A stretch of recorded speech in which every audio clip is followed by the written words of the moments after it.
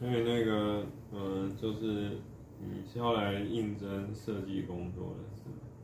对，好，那你可以那个简单介绍一下自己。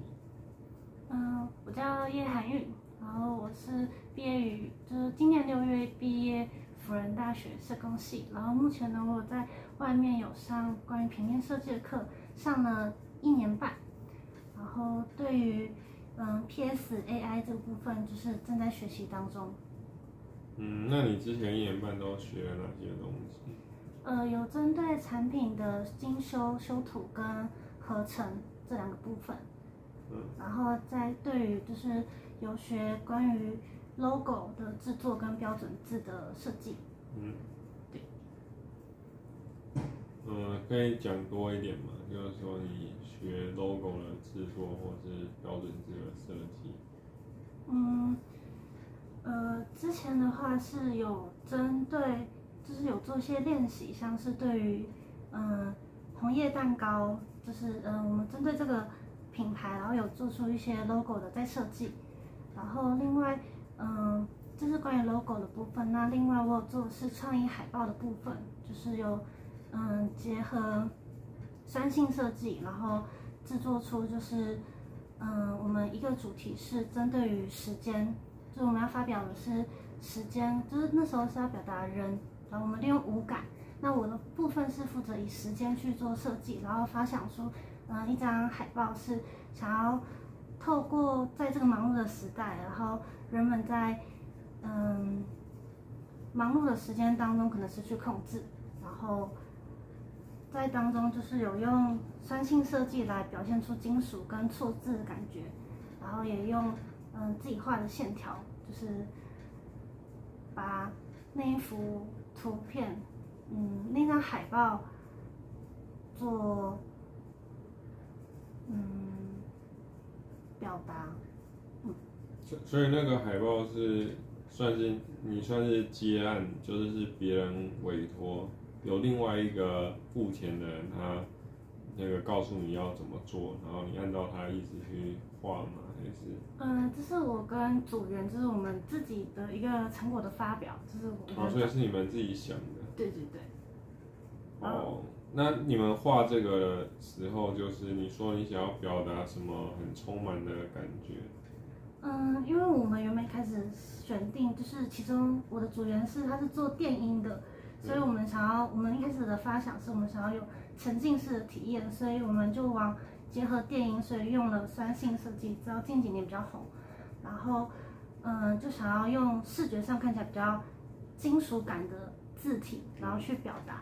那我的部分是时间，那其余的部同学可能就是以运动鞋，就是脚步，嗯，就是用脚踩实地。然后另外一位同学他是做。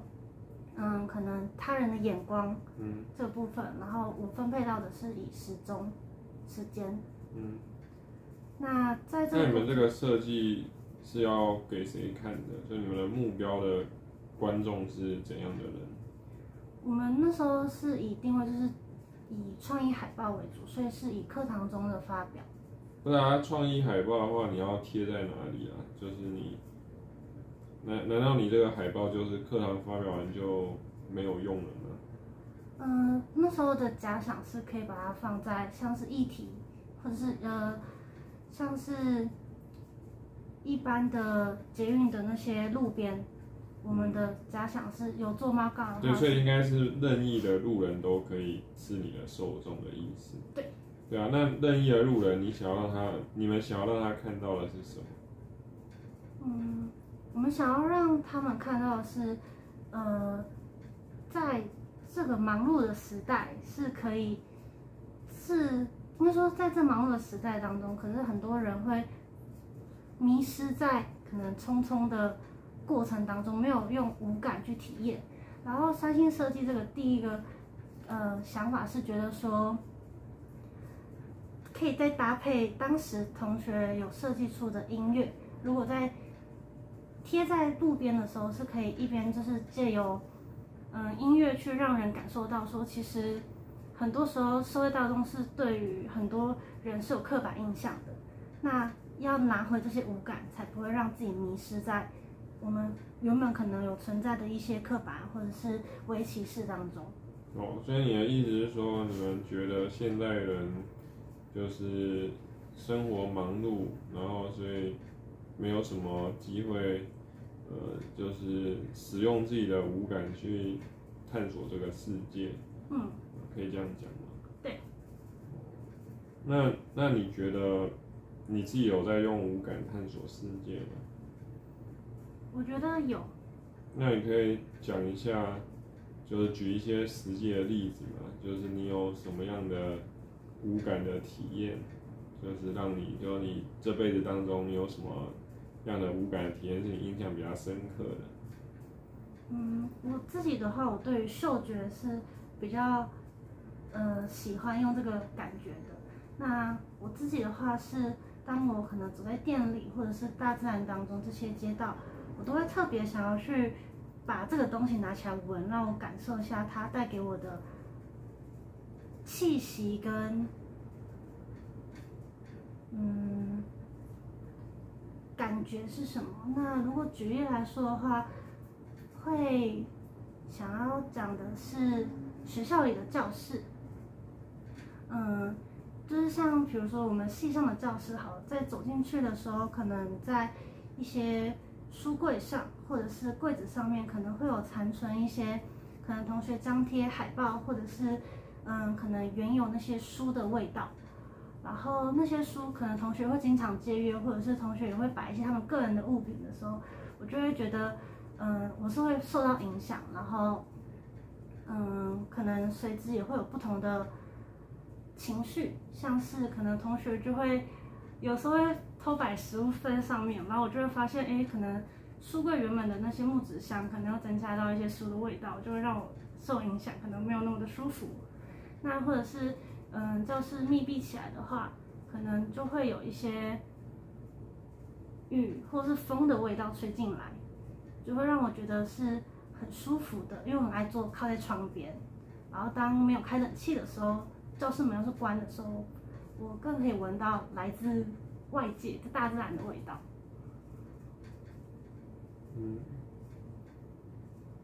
哦，大概知道，嗯，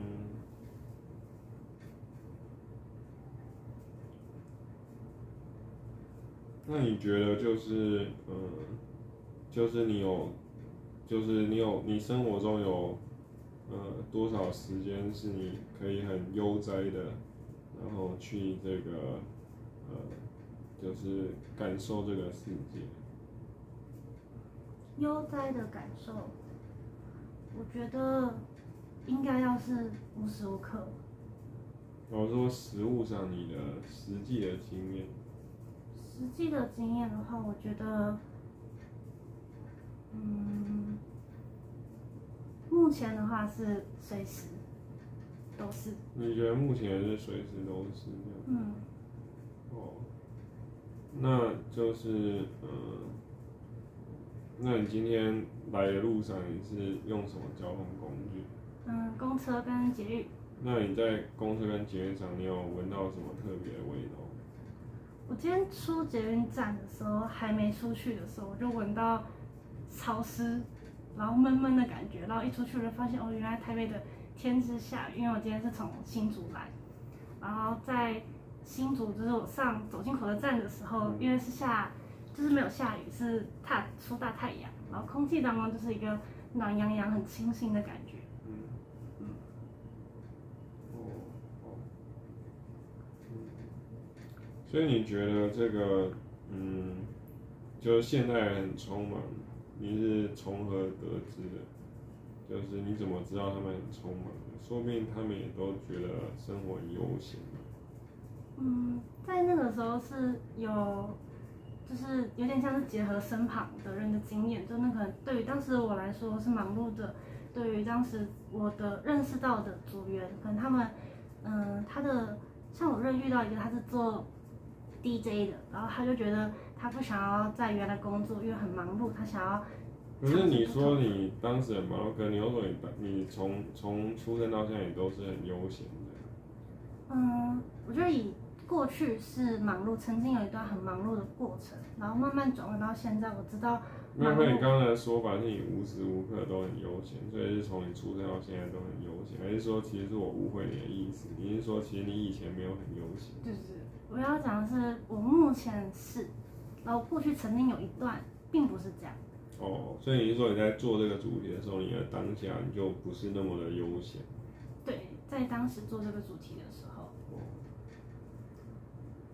好，那那你可以那个讲一下你的不悠闲是，你当时在忙碌什么吗？你为什么当时觉得自己很忙碌？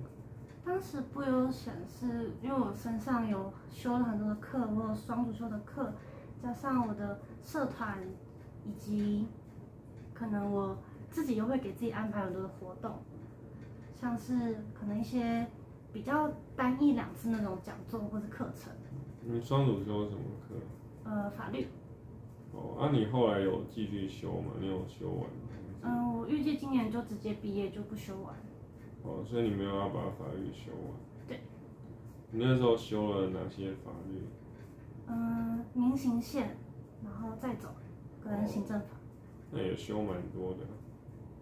所以你修了这些法律之后，你有对法律有比较懂吗？我我觉得。我觉得我那时候的学习方法是很填鸭，太急于求成。嗯。所以我觉得是一定是有对于有多认识有学到，但是对于我来说，可能那个成效并不是到非常好。嗯嗯。所以你觉得法律的功能是什么？我觉得法律的功能比较像是真的是最低标准的道德规范。嗯，可是如果你说它是最低标准的道德规范的话，那呃，假设法律规定呃不准同性恋好了，就没有同性婚姻，然后所以你觉得这个是比较低的道德标准？那如果更高道德标准的话，是可能连同性相爱都不可以，啊，喜欢同性都不可以，这样子比较高标准，是这个意思吗？呃，应该说法律的话，它会会受到各个国家民情甚至文化的影响。那我觉得它是最低道德标准的关系，是因为受到这些因素，它会被影响。但我觉得真正的价值应该是放诸四海皆准。不是啊，但是我我的意思是说，所以你的所谓的最低其实是那个，就是我是说你你的低不是指它是。少，就低不代表少嘛。你的低，那你那样的话，你的意思应该是要说它是最落后的道德标准啊，就是不是最低啊，应该是最落后啊，因为它很严格啊，搞到法律规定很多东西都非常严格，但是它只是它太落后了。嗯，所所以所以你要修改你的主张嘛，就是你觉得法律是最落后的道德标准。嗯，我不会用落后去形容，因为。还是那个你觉得是最大众的道德标准，最多人支持的，是吗？你觉得法律是最多人支持的吗？比如说台湾领土包含大陆地区啊，中华民国领土包含大陆地区写在宪法里啊，这个是大多数人支持的吗？我觉得大多数人对于法律没有那么了解，所以你说这是大多数人支持吗？我觉得以以偏概全那种方式去讲话，大家会认为法律就是对的。那法律对的太好了，你去路上跟每个人说那个哦，来自台湾福建，哦，来自台湾浙江。所以法律就是它还是会在实用上还是会有一定上的限制，跟不符合现在现实状况。对，所以我说它是落后啊，但你不同意我的观点。因为他有时候他这样定的时候，其实是为了要在个案的时候，他是更可以有商谈的空间，所以他没有把法律就是定的。非常的严格跟完善，它是有点像是为了要保护特别个案的状况，就那种极致特例的状况是个别拿出来讨论，有更多自由的空间。嗯，没有，那你的这样讲法应该是说法律规定的非常少啊，就是它是它是就你的意思说法律是保有很多弹性啊。嗯。就就其实法律都定的含糊不清嘛，你的意思应该是这样。所以它只是最大，呃，应该说它只是最初步的，更详细真的就是以个案去讨论，可能有当时的法官、律师。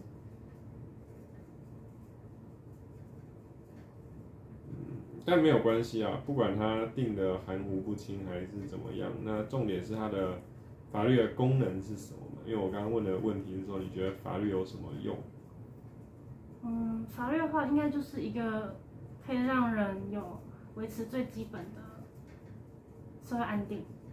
你觉得法律可以维持社会安定吗？对，起码有一个初步的标准可以做依循。所以就是当今天法律规定。同性不可以结婚的时候，同性就跑到路上去游行，然后这样的话，就是社会是比较安定的。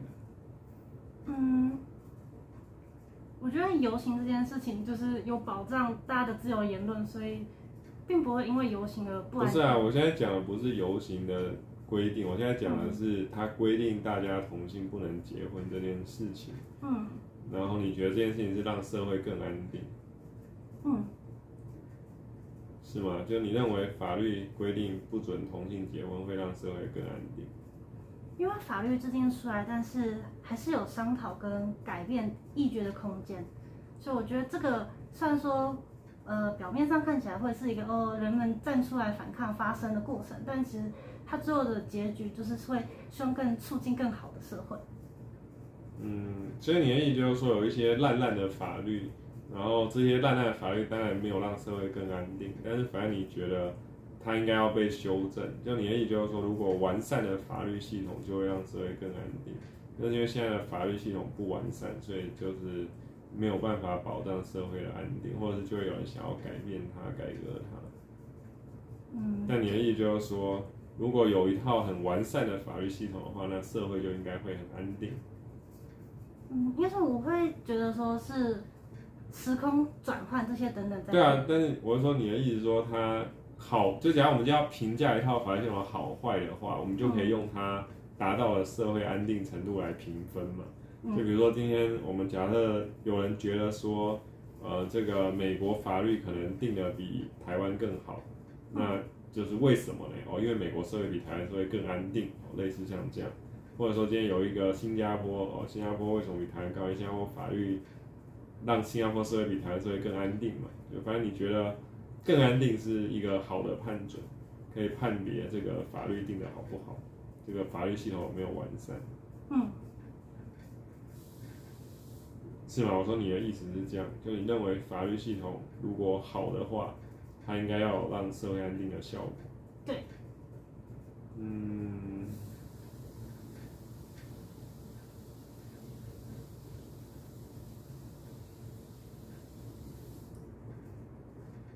那你觉得怎样叫做社会安定？没有人抗议叫社会安定吗？比如说像北韩社会是不是很安定？我觉得不是。啊，对，那我说你觉得怎样叫社会安定？我觉得，嗯，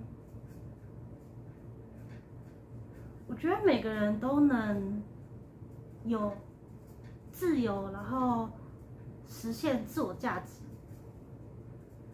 以及，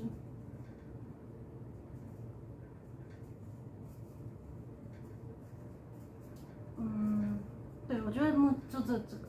哦，你觉得就是要让每个人可以实现自我价值，这样就是比较安定。而且每个人都有他可以遵循他的自由意志。嗯，那这个东西其实不需要法律啊，因为现在每个人也都可以遵循自己的自由价值啊。你不如说是。如果没有法律的话，搞不好更可以啊，就是更能每个人遵循自己的自由价值啊。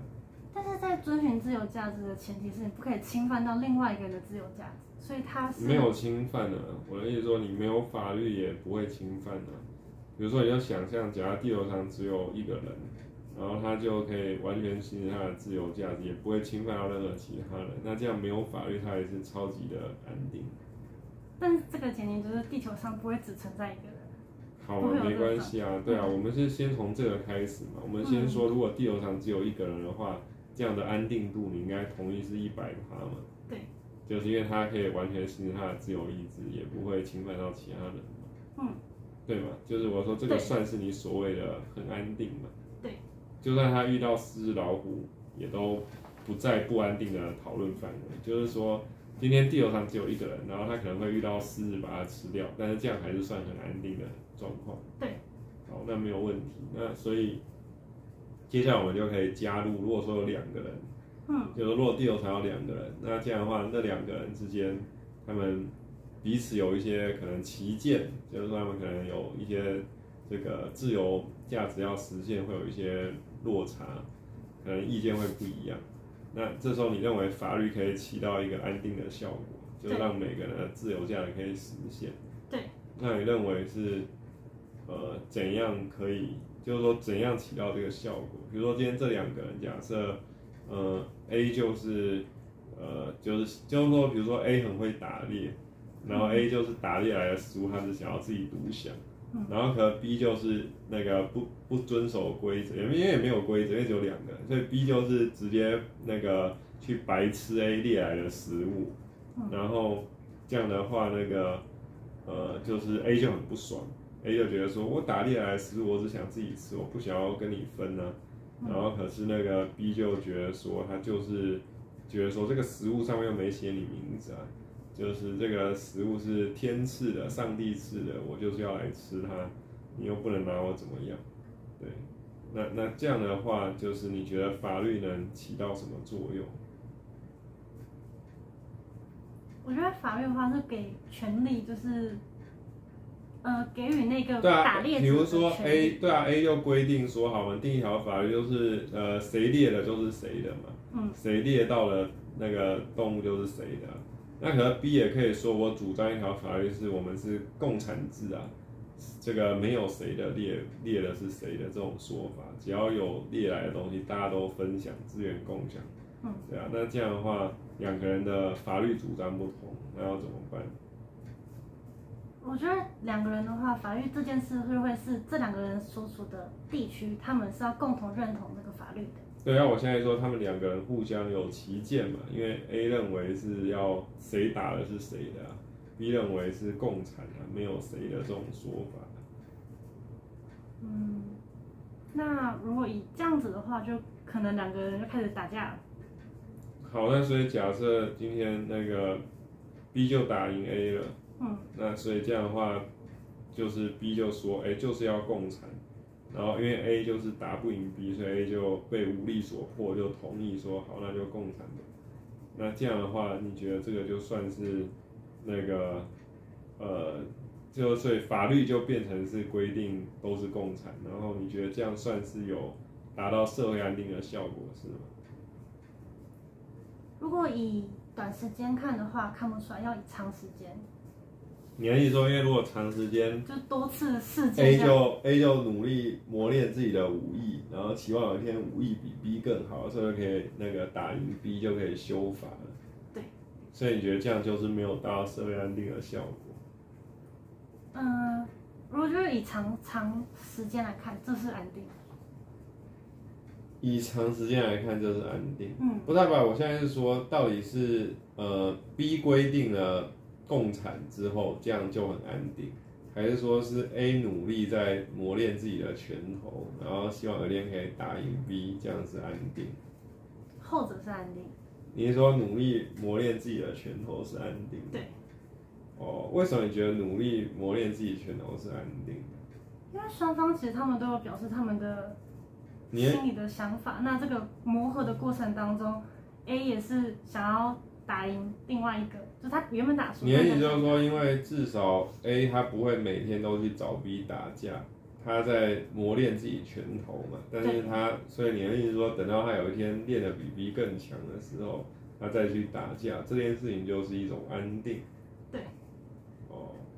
所以你的意思就是说，如果大家都就是有很多的不满，但是大家都这个努力的在这个。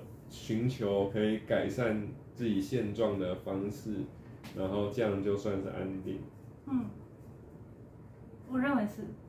哦，嗯，那这样的话就是那个，嗯，那所以，那你认为法，所以你认为法律是当下拥有最强武力的人决定的，是吗？嗯，我觉得这个的确可以决定。那还有其他因素可以决定？还有什么其他因素可以决定？嗯，当武力，当不需要武力的时候，可能好言相劝，或者是表达各自立场，或者是义务以物易物做资源的交换，可能也某种程度上可以使得对方同意这项法律。嗯，所以其实你的意思就是说，你觉得法律是一种，呃，就是大家资源交换的规则，就比较像是某种资源交换的规则，就大家为了交换彼此的资源，大家定定了某些规则，然后所以这个这些规则就为了让资源的交换可以更顺畅的运作。嗯嗯，那如果是站在这个角度的话，那就是，嗯，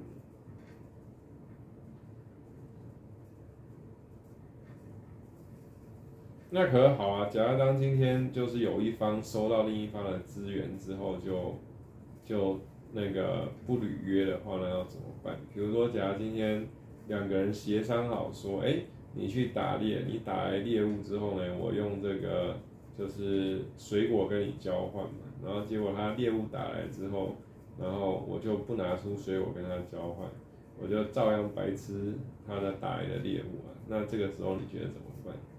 那就可能就依当时定定的法律，可能会有注就记说，如果入不履约不履约会怎么样？没有啊，因为还没定到那里嘛。我们现在就先定了第一条，就是你打猎猎物跟我换水果，定完之后大家都同意了。结果打完猎之后，然后我就把你的猎物吃掉了，我也没有拿水果给你，就不履约了。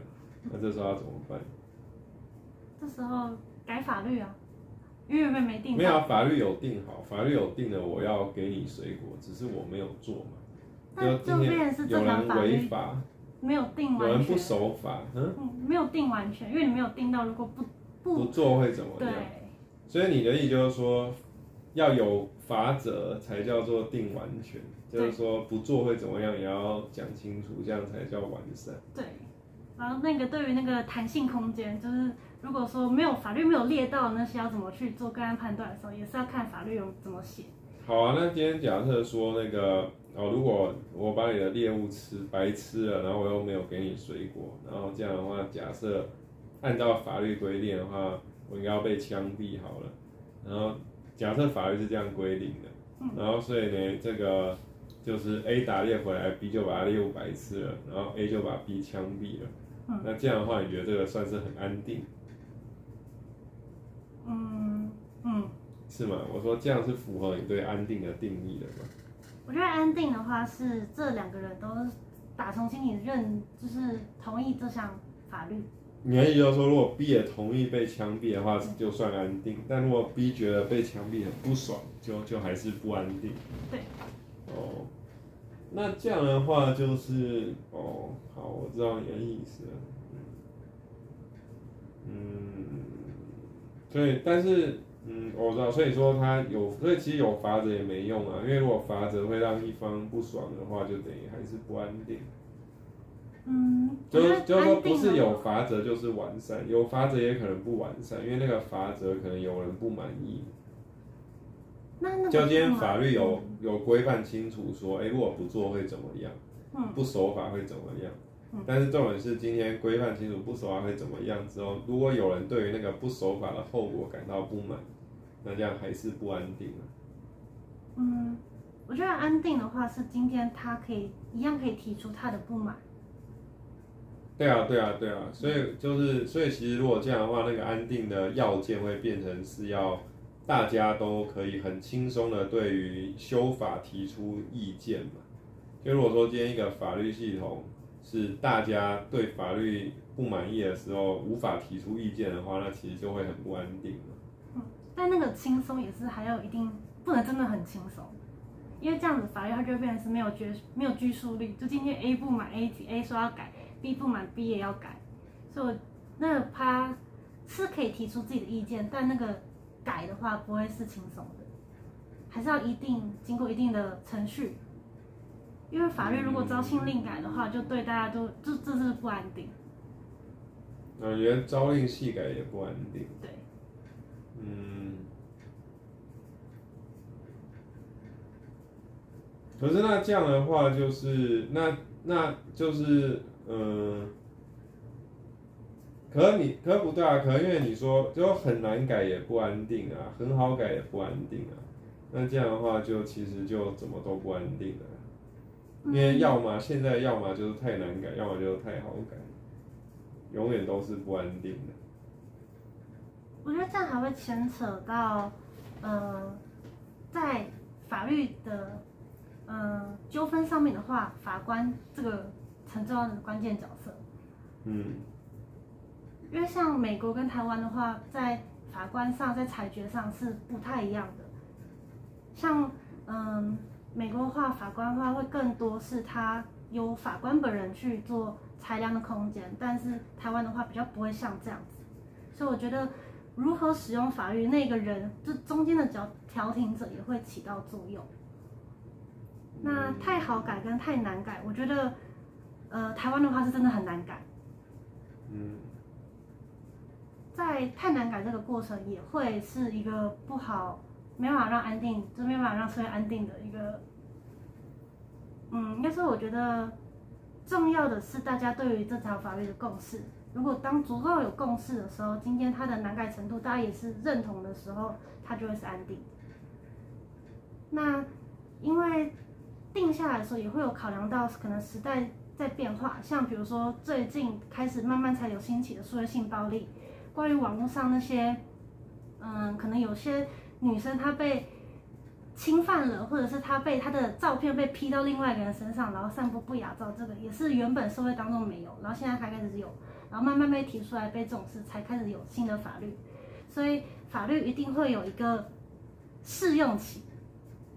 就是你还没有遇到对啊，就是我知道你是说法律一定要不断的增修，才能够满足时代的演进嘛？对，有不同时代要有不同的法律。嗯嗯。但那个你刚刚提到一个重点是法律的执行过程中会有这个所谓的法官之类的角色。嗯。那现在就是说，呃，你觉得这个法官这个角色？他是可以被疏通收买的吗？就是说，假如说今天，哎，我跟一个人打官司啊，我就送红包，送一些利益，输送一些利益给那个法官，然后法官就做出了对我有利的我想要的判决。嗯那你觉得这样子，那个这样是比较安定，还是比较不安定？比较不安定。你觉得这样是比较不安定？为什么？因为法官一定是要客观中立的第三人。嗯，那怎样叫客观中立的第三人？就像你刚刚讲那些收受贿赂啊、利益纠葛这些。好啊，那如果今天这个法官他没有收受利益，但是他看某一个人，他觉得那个甲方可能长得比较正，他就判决对甲方有利，这样也是不公正的，是吗？对，所以在培训法官的先决条件就会包含了这个你要担任这个职业的伦理。等等的，所以大家一定是要受过一定训练，所以他要具备这个伦理。对，所以你的意思就是说，所谓的公正的第三方的法官这个角色呢，他是这个要受过某些训练。那那现在问题是说，就是那怎样叫比较公正嘛？就是就是就你怎么去比较 A 法官跟 B 法官谁更公正呢？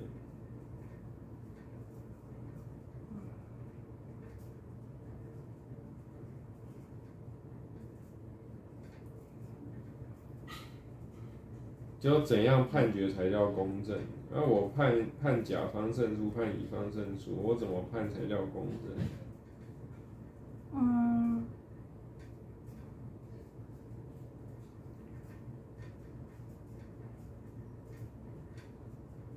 通常通常可能会依循过往惯例的判决。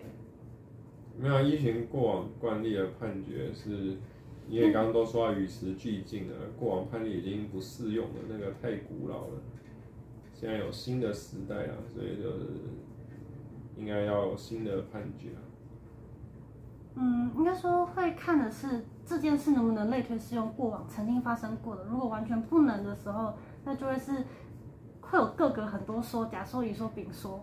而且其实按照你刚刚一开始的定义的判准，其实他判决根本重点不是过往怎么判，重点应该是他判完之后那个双方要满意啊。嗯，就如果他判完之后，甲乙双方都觉得，哎，这个判决很公正，那这样就没有问题。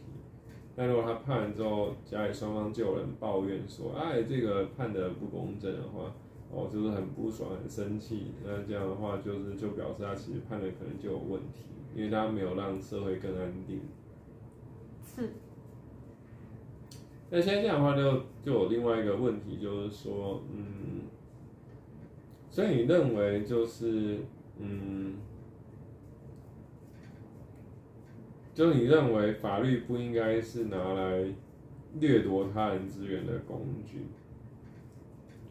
是，然后因为像你刚刚提到是，如果说以法律来讲，有法官这样的角色的话，就会变成是现在普遍情形是，普通人对于法律没有认知，没有一定程度上的了解，可能就是普遍的印象，所以对于有没有认同这件事，都会依靠一个专业的角色，可能像律师去告诉他怎么样怎么样。但前面那个两个人的话，就是你对这个法律是因为只有两个人，所以可以了解，所以可以有足够说哦，我同意这条法律。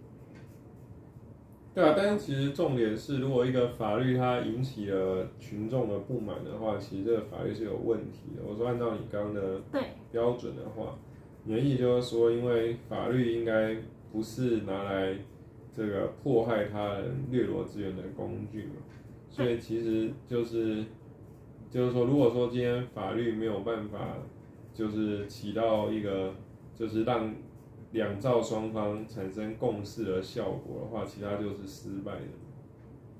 对，就今天说，哎、这个违约要赔偿，那现在这个违约要怎么赔偿？应该是要就法官裁定完之后，应该两两方要觉得是满意的，这样的话这个才有意义。那如果说今天啊违约要赔偿，然后法院就说啊判赔五千亿，然后那个赔五千亿就很不爽，就觉得说我被坑了，我当初签合约的时候我都没有看的，我没看就签了，你会觉得说这样就是就是不公正的，就是这样的法律就是有问题的。嗯，所以通常在法律上的话，会有表明，就是如果对方没有正知道的时候，会有什么样的状况。所以我觉得是，对啊，对啊，我的意思就是说，反正你的结论是说呢，他法律应该是要服务让大家都满意嘛。对，就就是你觉得他应该是要以这个所有人都满意为目标，而不是以那个满足部分的人为目标这样子。那如果是这样的话，那你就要持一个假设，就你认为这个地球的资源是足够让所有地球的人都过上自己满意的生活的。你认为是这样子吗？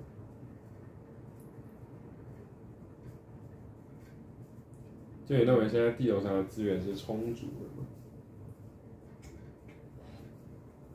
其实我们就可以讲很简单的例子，你认为台湾的土地面积是够大的吗？就是房子是够多的吗？对，因为很多人都说买不起房是个问题。嗯，对啊，那你觉得台湾的土地是够多的吗？我觉得够了。那土地够多，为什么有人买不起房？有可能是想要买房人他们的目标跟他们实际上他们真正所需要的不符合，或是他们想的那些是不一定是他真正需要的，真正他可以要使用到的。那为什么不是那个土地被少数人持有这件事情本身，就是法律保障了少数人可以永久的持有土地这件事情本身是个错误呢？嗯，法律并不会保障，而是整个贫富差距让没有啊，法律有保障啊，因为今天假设一个人他购买了某一块土地，按照台湾的法规的话是没有年限的。但是像比如说什么越南、中国这些所谓的共产国家，他们就是买不到这种没有年限的土地啊。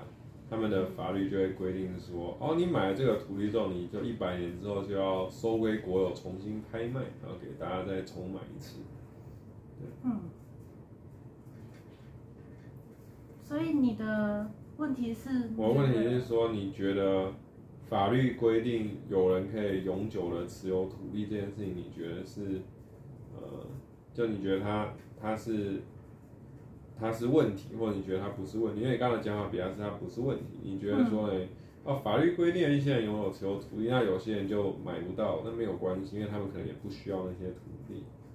嗯，是。对啊，那我现在是说，那所以，嗯，可我说照你这样讲的话，其实都也不需要法律了，因为大家都是那个不需要啊，就是，就是说，就是当大家有想要的东西得不到的时候，哦，其实问题都是你不需要那个东西，而不是因为法律的失灵的。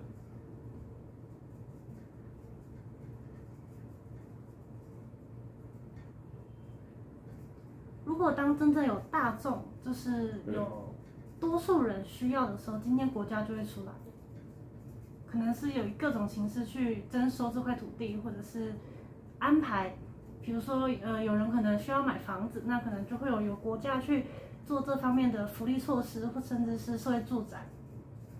像如果说以老人家来说，他可能没有相对应的金钱金源可以去买一栋房子的时候。可能国家他就会去照顾到这所谓你说可能在法律上没有办法被照顾到，或者是有需求的人，就会提出像是老人住宅，让有需求的人去用他能行的方式去做到一个他想要的，满足他想要的需求。嗯。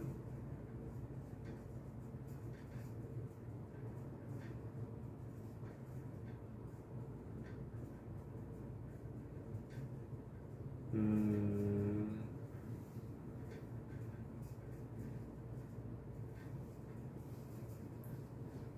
所以那，但是，嗯，我到底在讲什么？但是，所以，嗯，可是如果照你这个讲法的话，那其实就没有法律系统是不完美的了，因为这样的话，所有的状况都大家都各得其所了呀。但是老人会变啊。时代会变，每个不是啊，我的意思是说，就是对啊，但是我会说，不管时代怎么变，你法律也会变啊。反正我的意思就是说，其实是就也没有所谓的呃，这个法律有漏洞啊，这个法律系统不完善，就是也不存在这样的状况啊。因为因为按照你刚刚的逻辑的话，应该你的意思是说，其实都都是完善的，因为就是呃，大家都有管道可以救济啊。就比如说，假如今天我觉得法律，呃，我觉得法律规定了土地在某些人手上可以永久持有这件事情，但是我没地方住的话，政府给我安置一个地方住哦，所以这样就解决问题了。所以这个法律也没有不完备啊。那我就说，那这样的话，其实所有的状况也都没有不完备啊，因为因为本来就生命都会找到自己的出路啊。嗯，我觉得法律上还是会有一定上没有跟。现实符合的，所以就会有人提出说，哦，应该要增或减。对啊，那就会自动调整嘛。我的意思说，就就它本身就会被慢慢自我修复，就是说就会有人提出来说要修法呀。嗯。那那所以我的意思说，所以这样的话就是那个就会回到那个嘛，法律会太容易修还是太难修的问题。然后你的意思说，因为台湾现在是属于比较难修法的。嗯。对啊，那就是。嗯，对啊，但如但我会说，所以就是它问题就只是在它修改的难易嘛。嗯。那因为其实反正，但是不管再困难，反正都可以慢慢调整嘛。就包括台湾很难修法这件事情，也可以在日后有一天就变成很好修法呀。那可能会还会变成太容易修法嘛？可能矫枉过正。嗯。但是这样的话，其实就是就是我一说法律系统都是没问题的，因为它都会被调整。就或者说也不是说它没问题，但就是说反正，嗯，就是法律是没有没有主体性的，就是说，就法律系统是不存在一个，就是说这个完美的法律这种东西，因为它都是在与时俱进的。嗯。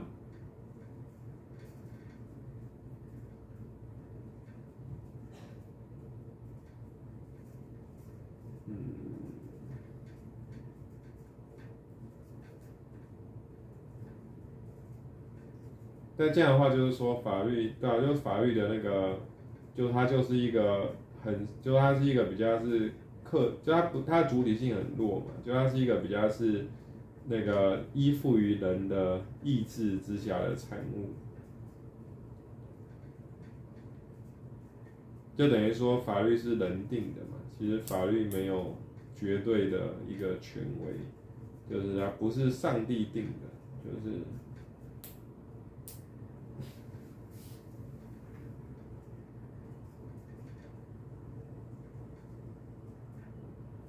所以你是持这个立场吗？你觉得法律是人定的还是上帝定的？人定的。我也觉得是人定的。嗯。嗯。那你觉得，当一个人对这个生活感到不满意的时候，嗯，然后这个人应该就是。怎么做？就是说，所以他应该要去修法，是吗？就是他觉得他现在的法律对他不利，所以他应该去努力的修改法律。那也要看他对于生活不满意的地方，是法律造成的吗？没有，一定都是法律造成的。就没有一个问题不是法律造成的。像是，嗯，嗯。像是比如说，举一个最简单的例子，就是说有人他可能就是，呃，想要怎么讲？比如说有人他可能想要这个，就是，呃，想要吃饭嘛，然后可是他那个没有钱，他就没有办法吃到饭嘛。但是我是说，那是因为法律规定不能抢劫嘛。如果今天法律规定可以抢劫，他就去抢劫一下，他就有钱就可以吃饭了。所以这就是法律定的不好啊。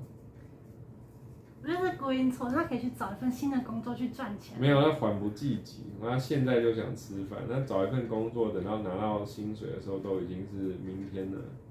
那他可以去跟路上人说：“你可以请我吃饭。”他可以做邀约啊，不一定要用抢的啊。他如果遇到一个好心人，说哦，我身上没有钱，好饿。当然，如果他遇到好心人的话，就解决问题了。对啊。但是我现在也就是说，可是如果法律规定可以抢劫的话，就更好解决问题，就不需要遇到好心人也解决问题啊。就只要我们把法律规定的，就我会说，就当你那个就是身无分文又饥饿交迫的时候，你就可以合法抢劫。这样就就不会有问题了。不行，这问题可大了。为什么这问题因为这会侵犯到另外一个人的权利啊。侵犯到谁的权利？被那个被抢的人的权利啊。被抢的人的权利。对啊。没有啊，被抢的人的权利没有什么损失啊，因为他就是善心人士啊。就当天你被抢的时候，你其实你不是被抢，你是好心请人家吃饭，你就这样想就没事了。所以，如果今天你这样想的话，可能他就不会去告他。所以，可能今天就不成立，那他可能就成立，就会属于他不是抢劫。因为今天如果是一个善心的人，他就不会觉得他是抢劫，就不会用这条法律去告他了。嗯，不是啊。可是如果你这样讲的话，那就会，嗯，没有。可是我说，那我们直接把法律定成可以合法抢劫更好啊，因为这样才更符合我们想要表彰的价值啊。就我们定成可以合法抢劫，然后如果对方不爽的话，他再抢回去就好了。这当然是，呃，应该说这样的话会有一个利基点，就会是每个人都可以，每个人的权利都是一样的，就每个人的嗯条件都是一样的，因为抢劫它需要有分。可能这个人就会他力大无穷，他很好抢，跟这个人他就是啊小孩子他抢不赢别人，这个时候就有失公平性。所以今天如果合法抢劫的话，会有漏洞，会没有办法照顾到。所以因为你觉得合法抢劫对力大的人有优势，所以这样合法抢劫就有问题。对。那这样的话就是呃，那可好啊。那如果照你这样讲的话，那像比如说金融市场，大家可以去里面交易买卖金融商品。那但是这样的话就对聪明的人有利啊，因为聪明人他可能买卖的时间抓得非常好，他就可以获利。然后笨蛋进去了，买卖一通就把钱赔光了呀。那这样的话，这个法律也对聪明人有利啊。那这样的法律是不是有问题？那今天这个空间是它，你可以选择，就如果你今天你那种不没有你把握，很笨，你就不应该去。不是啊，啊你就不知道自己笨不笨，你去了才知道啊。那这个的话，说不定他有做好他的心理准备，他愿意接受这个游戏规则，所以他是遵循他的。那好啊，如果我们今天这个，我们就不要说全台，我们就画一个特别区，是这个叫做抢劫合法区。如果你去那个区的话，你就可以自由抢别人的东西，但你也可能被抢。那这样的话，就是我们画出一个抢劫合法区，这样的话不就也可以吗？呃，是，如果照逻辑的话，所以你其实也觉得是可以的，因为本来也没有反对抢劫合法区的存在。对。嗯，那所以这样的话，如果有一个国家规定可以合法抢劫的话，其实那个整个国家就是抢劫合法区而已啊，所以这样也没有问题。对。那这样的话就是，嗯，所以这样的话应该是，这样的话你应该要主张大家可以自由移民，因为如果我生下来的国家是抢劫合法国，但是我又力气小，我就很吃亏啊。那我应该可以搬去一些抢劫不合法的国家，保障人民财产的国家，要有自由搬迁的这个权利。嗯，自由，呃，如果以目前来说的话，嗯，以现现阶段的话，移民还是就是还是有条件，但不是完全达不到。对对，但我现在就是说，所以理想的状态应该要可以完全自由移民嘛，就每个国家可以有每个国家自己的法律，但是如果有人对那个国家法律不爽，他就应该要可以自由的移到别的国家去过另外一个国家的生活，这样是比较有利的。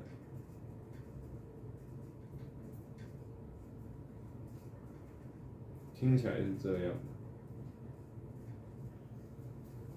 它会需要有一定限制。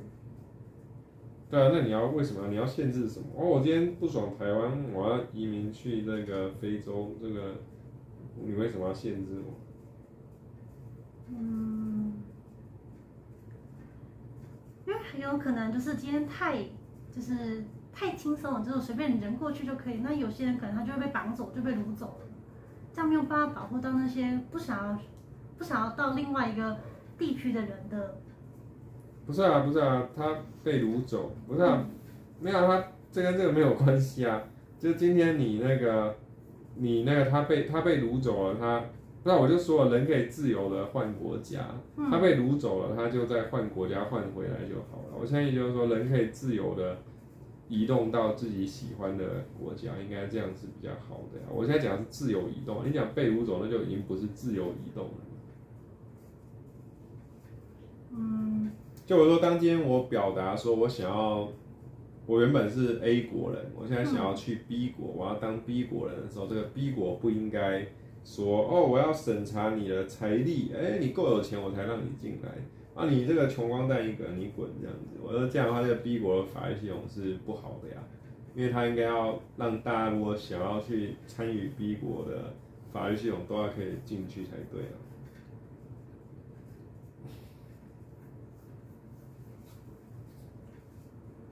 嗯，我觉得会有限制，是为了要保障这个游戏规则可以持续运作。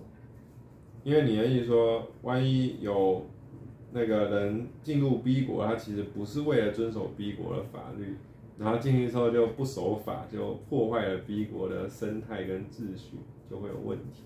对。所以你是说，他要先确定你是会守法，才让你进来？对，或者是，嗯、比如说这个规则是它可能有涵盖到，就是哦，你从一个时间段到一个时间段，比如说从小时候到高中，那如果这时候你可能一个大学生过去的时候，你没有前面那些他们所经历到的那些，在法律上就，呃，在玩这场游戏的时候，可能条件就不符了。对啊，对啊。可是问题就是说，那这样的话就也没有很公平啊，因为这样的话就是会有那个我们一开始讲的那个问题嘛，就是说啊，我的能力就比较差，就被排挤了，那 就是我就去不了另外一个国。还有你的意思是说，你认为他是以投胎论的，结果今天你投胎到 A 国，然后投胎到 B 国，那就是因为你想要遵守 B 国的法律，你想要玩 B 国的游戏规则，你就投胎到这里。嗯，我我觉得是一个缘分。那可能对，那如果是那如果是这样的话，那问题是怎么出场？就是说，如果今天我投胎到这个国家，我觉得这个国家法律很烂啊，定得很差，那我要怎么出场？你说到另外一个国家，你的出场是？对啊，对啊，对啊，我我要怎么样去到另一个国家？可能就遵循原来你有的那个国的法律规则，合法的在游戏规则内到另外一个国家。不是啊，那我就能力不济就没有办法。我说很多人能力不济就没办法自由移民啊。嗯，那没办法自由移民的人，他要怎么办？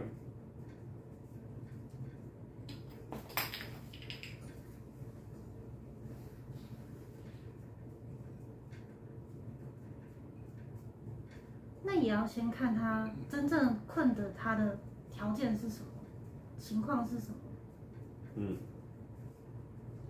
然后再去做判定。因为如果说他真的很想要去做的话，可能还是有一定的资源，或者是，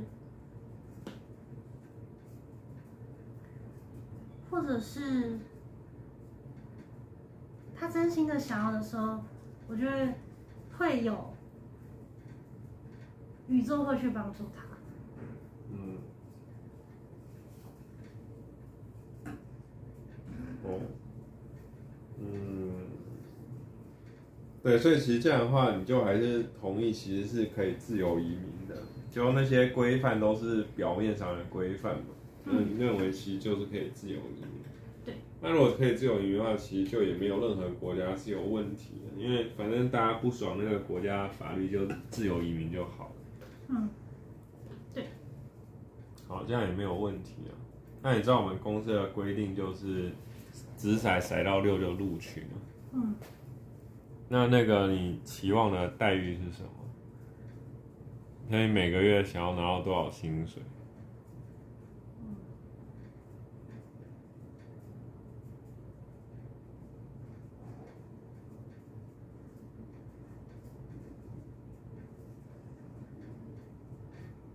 怎么了吗？我没有在思考。哦，没关系啊，其实你也可以不用思考，因为我们公司对大学毕业生一般的 offer 就是两万六加上一点一千元的资筛奖金。嗯，对，所以就是你可以只要考虑你要不要接受这个待遇就可以了。嗯，怎么了？没有，我是我在听，嗯，对啊，所以我是说，如果你要接受的话，你就可以直筛啊，然后就是什么资财奖金？嗯么，那就你每个月会那个，假如你这个月甩六点，嗯，就就是你就会拿到三万二啊，你如果甩一点就会拿到两万七啊，哦，对啊，嗯。就是这个意思啊，嗯，懂，对啊，所以我是说，就是你就如果你觉得这个 OK 的话，你就甩甩到六就录取了，要要甩到杯子才算，就如果弹出来就不算这样，嗯，对，要重甩，如果弹出来要重甩，嗯，好。对，嗯，有其他的规则或是没有啊，就是筛啊，筛一次啊，就是筛一次有六六录取，没有的话就 自己看着办。好可以三个月之后再来筛。我嗯们的规定是三个月，就是之后就可以来重新申请直筛面试，嗯但是不能每天来申请。嗯，对，好，好，那你就筛啊。